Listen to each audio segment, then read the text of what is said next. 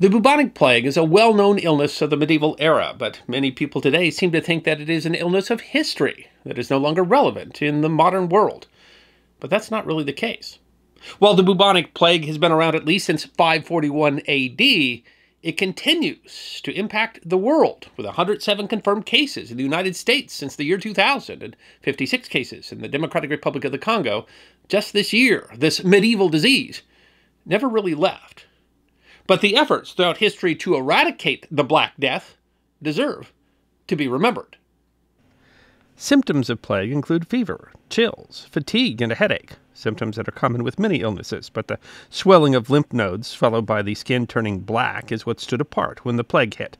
A modern antibiotic, such as doxycycline, administered within the first 24 hours, is the only effective treatment, and even then there's still an 11% death rate. If not administered quickly enough, survival diminishes to a mere 27%. Even if someone survived the bubonic plague, they still had to watch out for the lesser known septicemic plague. When a swollen lymph node, also known as a bubo, bursts, the plague can enter the bloodstream, creating a new variation of plague. This variation is less common but more deadly, with only a 62% survival rate even with immediate treatment. Those who do not receive treatment for this type have virtually no chance at survival, due to complications such as organ failure and internal hemorrhaging. While modern treatments for the plague can largely be effective if administered within the first 24 hours, what about the people who came before those developments? Well, they were not so lucky. While not so much is known about the first wave of the Black Death, which came during the Justinian era in the mid 6th century, the second wave of the Black Death saw major medical developments. The second wave of plague occurred in the mid 14th century, at a time when bloodletting was the medical cure for everything. Bloodletting is the act of using leeches or cuts to drain the supposedly infected blood from patients. Little did they know that it was actually spreading the plague at a faster rate. When bloodletting was seen as ineffective, doctors turned to remedies that their patients could consume or inhale. They would go through many until the patient passed away and pick up where they left off with the next patient. The plague supplied doctors with a multitude of patients to try various and often new remedies on. These new remedies included many tonics of crushed herbs mixed with liquor or boiled water. An example was a book published by one W. J. Gent in 1665 entitled A Collection of Seven and Fifty Approved Receipts Good Against the Plague, taken out of the five books of the renowned Dr. Don Alexis Secrets for the benefit of the poor sort of people of these nations. One of these remedies directs one to take three ounces of the liquor of the inner rind of an ash tree and still with it three ounces of white wine and administer it every three hours. Mr. Gent suggests that the infected should be healed within a day. And so this purported cure for the deadly plague was really just some wine mixed with tree bark. Another one of his recipes suggests using one third part fine treacle, one third part aquavita, and for the other third, the urine of a man child who is a virgin. Now, these tonics didn't work, but they did demonstrate how little doctors understood the plague and, well, illness in general. Other types of remedies included smoke, herbs, and flowers. It was often thought that if citizens inhaled the impure scent of death or illness, then they themselves would fall ill as well. Some of these inhaled remedies included burning herbs in fires made within homes of those infected or those trying to avoid infection. Some towns would even create vast bonfires, believing the smoke would drive the foul air away from the citizens. Flowers were often kept in pockets or perfumed fabrics close by for those uninfected to cover their nose with and breathe in when in the vicinity of people who may spread infection. Another major change to medical practices was the use of protective gear and clothing. Doctors wore long gowns made of leather to protect their skin, along with gloves and boots. The most identifiable characteristic of these new protective outfits were the beaks on the plague masks, which were thought to give the air enough time to purify before reaching the wearer and were often filled with fresh flowers and herbs to ward off any infected smells thought to spread plague. While the plague doctor outfit has come to be recognized as a symbol of the Black Death, it was likely only used by a few physicians, and the first mention of the outfit didn't occur until 1619 it might seem that the outfit, by fully covering the doctor, would at least provide protection, but a March 2020 edition of National Geographic notes that while the plague doctors may have been immediately recognizable, their costumes didn't provide any real protection against the disease.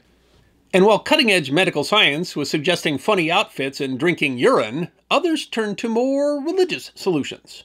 Many communities and churches blamed the plague on God's displeasure. They shifted the blame from medical reasons to religious ones. Often widows, the poor, or unmarried mothers were blamed as they could easily be accused of angering God by their misfortune. This resulted in self mutilation, feeding on the idea that by shedding blood they could expel any negativity from their body and purify it. Another religious target was Jews. A 2010 publication of the Constitutional Rights Foundation notes that in 1348, a rumor claimed that Jews were responsible for the plague as an attempt to kill Christians and dominate the world. The rumor spread quickly, supported by a widely distributed report of the trial of Jews who supposedly had poisoned wells in Switzerland. Swiss officials claim the charges were true since many Jews have been submitted to torture and confessed. The rumor set off a wave of pogroms against Jews. Christians attacked them in their communities, burned their homes, and sent them down the Rhine River in wine barrels and murdered them with clubs and axes. In perhaps the worst case, the people of Strasbourg locked up and burned 900 Jews alive. That hysteria slowly died down after it was condemned by Pope Clement VI in 1349. As the Church proved helpless to protect the laity or even its own priests, the religious nature of Europe changed. Some turned their backs on religion and faith in the Catholic Church declined. Others turned towards religious fanaticism, among them the flagellants, who tried to fight the disease via extreme atonement, publicly whipping themselves. While the movement predated the plague, the numbers swelled in response. The long term effect on religion in Europe was significant. A 2020 edition of The Humanist argues that the plague led to a rejection of the superstitions of the Catholic Church, thus being an early form of Protestantism. Another solution, quarantining, also had profound impacts. Entire towns began shutting down their borders and ports in an attempt to prevent the plague from entering their communities. As a result, many communities lost their trade routes, and others reliant on traded goods would seek out new partners to maintain the number of resources necessary to continue functioning. Not only were trade partnerships broken, but those recovering from outbreaks often found themselves cut off from resources needed to repair their communities, such as food, textiles, and other necessary imported supplies. If the economic impacts were not devastating enough, it destroyed the social lives of those who survived. Many families and friends were torn apart as towns and villages were locked down. Grandparents, parents, and children were found deceased, sometimes leaving siblings orphaned with no relatives remaining.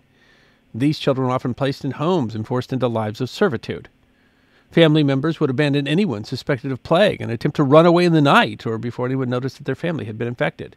Neighbors and friends turned on each other, hoarding the increasingly rare resources needed for survival. Governments and law enforcers would often flee first, having been notified of an oncoming plague outbreak by those in surrounding areas. Looting and theft increased since no one remained to enforce laws.